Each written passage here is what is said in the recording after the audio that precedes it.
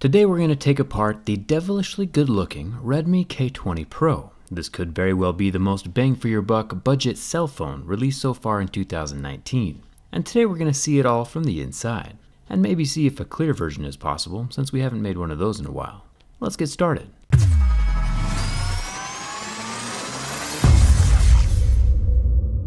The back panel of this Redmi K20 Pro is made from glass, and it's the typical glued shut glass sandwich design we've been seeing in smartphones for years. With a bit of heat and a sharp pry tool to slice the adhesive between the glass panel and the metal frame, it should come off easy enough. We'll be digging around inside of the phone to check out the water resistance as we take it apart. Once all the adhesive is cut, I can twist the panels off of each other, revealing the internals of the phone. The mechanical pop-up camera is still hidden underneath the top plastics, which we can get to in a second. Interestingly enough though, there are red rubber fillers inside each of the button cavities. This might be the first sign of water resistance. These red rubber strips tucked inside each of the button holes aren't used to push the button back out. Like we've seen in some of the old Nintendo controllers, the rubber's just there to take up space. The more the holes are plugged up, the harder it is for water to get inside. So far so good. Getting deeper into the K20 Pro we find 20 screws, which are surprisingly green. Maybe the strange, playful screw coloring is to help offset the evil vibe of the back panel. In some electrical applications, a green screw means a grounding screw, which might be the case here, but could also just be the favorite color of the guy who designed it. Once the screws are out, I can lift off the top black plastic panel. The K20 Pro has a square NFC pad on the back. It's a smaller signal coil and not the larger power sharing wireless charging coil, but the technologies are still pretty similar. The bottom plastics can't come loose. These include the loudspeaker. And check this out. The speaker has the same water-resistant mesh we've seen on ingress protected phones. I'm beginning to think that Redmi added the water protection, but didn't pay for the certification, kind of like OnePlus did a while back. I'll mosey my way up to the top of the phone. Here we can see the internal stepper motor system that raises and lowers the front camera.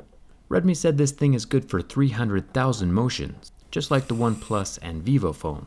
It's still fascinating to see them in motion though. The internal motor spins that threaded shaft, and as the threaded shaft spins, the camera motors on up out of the phone, and then motors back down into the phone when the threads rotate the opposite direction.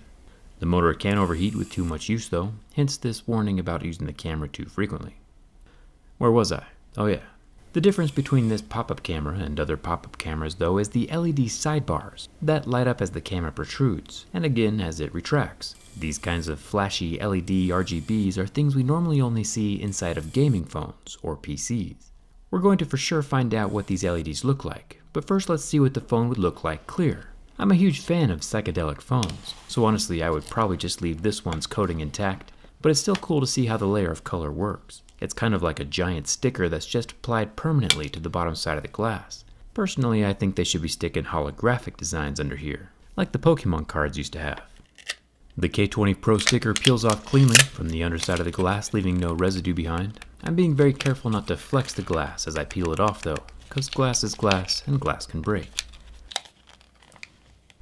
Some of the internal black plastics are important. You can see the silver metallic antenna lines, so I'll keep those, and the connectors for the NFC pad. And I'll also keep the lower loudspeaker with its contact pads. Once those are cut, the clear glass can be stuck back into place, and I think it looks pretty cool, half and half like this, showing the different layers inside of the K20 Pro. The pop-up motor is visible, which is the most important part, and you know, obviously the warranty and water resistance is now gone, so I wouldn't recommend attempting this unless you have nothing to lose. If you're looking for a non-permanent phone modification, it's probably safer to stick with something like dbrand. You can get something a bit more angelic and classy, like the marble or white carbon, or my personal favorite, the Stealthy Swarm or Black Camo. And if you know you like playing with wood, you can always get real crazy with bamboo or something. And since the skins are protective, yet non-permanent, they don't void any warranties. I'll put a link down in the description for you. And thanks to dbrand for sponsoring this video. Let's go deeper. I'll unplug the battery connector like a little Lego, and then I can unplug each end of this long extension ribbon. Then we can remove the battery. This is one of my favorite styles of battery adhesive, the strong, tangible pull tabs. The adhesive is thinner than the magical pull tabs we see inside iPhones, or even the permanent adhesive we see inside the Samsung phone, and look how strong it is. Before I released tabs 1 and 2, the battery was attached to the phone stronger than I could physically remove, but once tabs 1 and 2 were released, The whole battery comes out easily and cleanly, with no bending or dangerous prying, plus no broken pull tabs. Huge thumbs up for that. The battery is a 4000 mAh capacity. I can unplug the bottom motherboard ribbon and the lowest camera, the 13 megapixel wide angle. Pulling this guy out to get a closer look reveals that there is no optical image stabilization. We can pop out the other two rear facing cameras out of the housing to get a closer look at them. The top 8 megapixel telephoto camera and the middle normal perspective 48 megapixel Sony sensor, neither of which have the physical image stabilizing that we've come to expect on high-end phones. But this budget phone is extremely feature-rich at like $350, so we can't complain too much. I'll remove the one massive standoff screw holding down the motherboard and motor. Then I can unclip the super long front-facing camera extension ribbon with my plastic pry tool. And that releases the motherboard. The motherboard has a built-in headphone jack and a pretty solid glob of thermal paste on the back for the thermal cooling. The motherboard sits on top of this copper foil. It's not pure copper like we've seen in some of the major flagships, but still enough that it's efficient. It kind of has a rubberish feel and look when I pulled it out of the phone, so I grabbed my lighter, and since rubber will start to burn and melt before copper will, I started it on fire. The copper foil did not melt, but very efficiently transferred the heat from my flame right into my fingers, holding the other side of the foil. So we definitely know it works. Let's take a closer look at the light up pop-up camera and see where that red frontal glow comes from. Surprisingly, there is only one more screw left holding it in place, another green little guy. I'll remove that and then lift off the motor power ribbon and pull the stepper motor out. Then I can slide the pop-up camera up and out of the phone. Since there are no LEDs shining up into the lower portion of the housing, it means everything must be self-contained inside the boxy camera. So in order to find it, we have to remove the camera covering, the red plastic with the translucent bars along the side. My razor blade can slice through the housing and leverage off the top, revealing some pretty cool internals. The LEDs are actually located around the base of the camera, and they shine up into the cloudy clear plastic rainbow. The light rays reflect off of the intentional cloudiness of that plastic, allowing the entire sides and top to glow. We've seen the same effect achieved in the ROG gaming phone, and you know, not to toot my own horn, but I also included this in the LED wall-mounted PC that I built 5 years ago. I'll put a link for that incredibly old video in the description. Fun side note, this pop-up camera has the same rubber ring around the base to help keep water and dust out that we saw inside the OnePlus phone. Just another indicator that Redmi has put effort into water resistance. I'll get the motor situated back into its grooves in the metal frame, then let's see what the K20 Pro has down here at the bottom.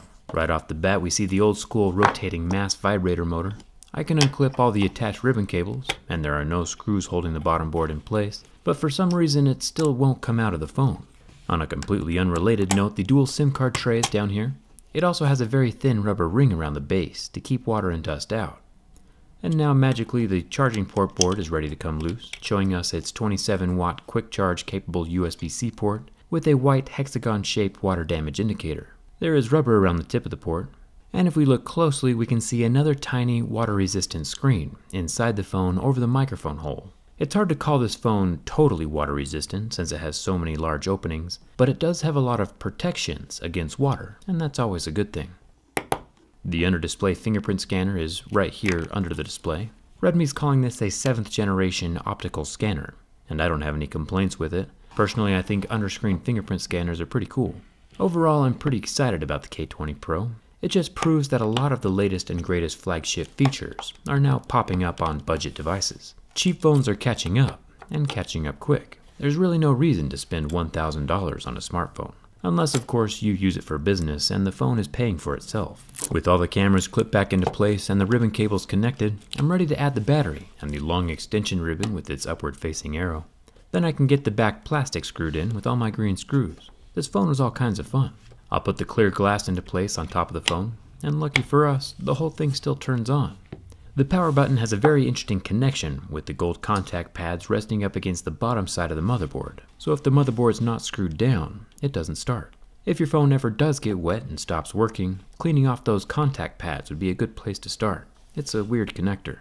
And there you have it, a fully functional Redmi K20 Pro with the light up mechanical camera, all reviewed from the inside.